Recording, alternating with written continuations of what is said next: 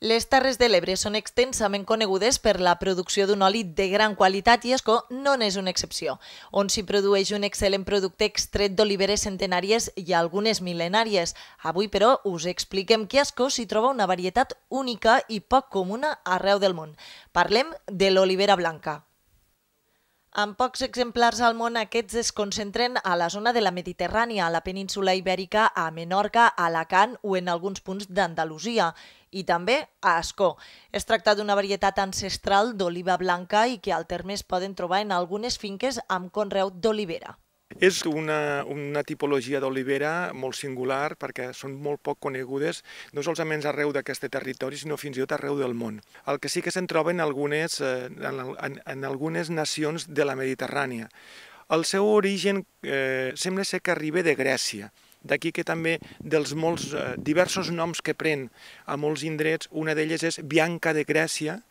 De Grècia que la feien servir sobretot per a esdeveniments eh, simbòlics eh, dins a la religió eh, grega, va passar a Roma i de Roma va passar a la península ibèrica. D'aquí que també se la coneix com Bianca d'Espanya. En tot cas, eh, si li hem de buscar un nom, diríem, científic, és Leucocarpa margediada.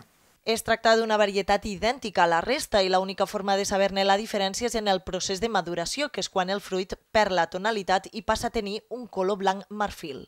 I sembla ser que fa un oli molt incoloro, no, no aquest oli de color daurat, aquest color d'or, però sí que el gust i l'olor és eh, idènticament com, com l'altre oli que ens pugui sortir d'arbequina o, o de la farga o de la terra alta. I és de qualitat, eh, pel que comenta també el seu propietari, l'Agustí Pinet, és molt productiu, es pot veure aquí també a les imatges eh, que han pogut gravar, és un arbre molt productiu i que amb molta facilitat cau, és a dir, no és d'una duresa, l'oliva no és de duresa dalt de tot, cau en molta facilitat. El fet que se'n trobi a Escó remuntaria un parell de segles enrere i podria ser fortuït gràcies al transport d'algun moixó.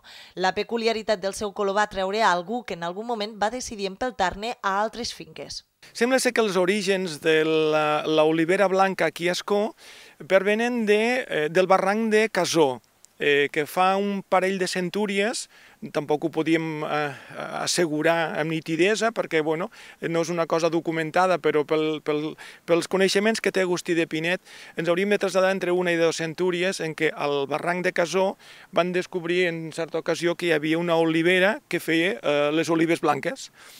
Eh, una casa important pairal i, i forta d'aquí d'Escó, cap a Ifaves, tenia un, eh, com era costum en aquells moments, tenia eh, un o diversos jornalers i un d'aquests jornalers va tindre la, la curiositat d'agafar mesa i empeltar en alguns trossos de capa i faves, empeltar-los i oliveres. En aquest cas, aquí ara estem, estem situats al Focarillo de, ca, de Capinet, però que, que, que en aquella època això era de capa i faves.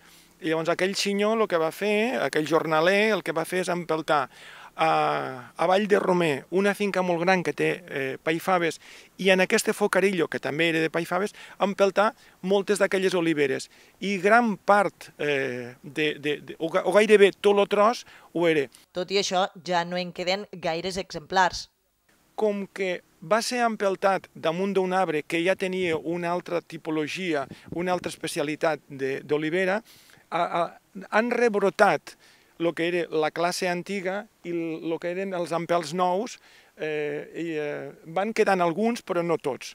Per això que en, en aquesta olivera, per exemple, tenim les dues eh, les dos especialitats, l'especialitat terra alta i l'especialitat d'oliva blanca. Oliveres amb història que han permès que un dels productes estrella d'Escó sigui l'oli d'oliva i que han deixat testimonis d'una gran producció d'aquest producte com restes d'un dels 20 molins que funcionaven al municipi a principis de segle XX.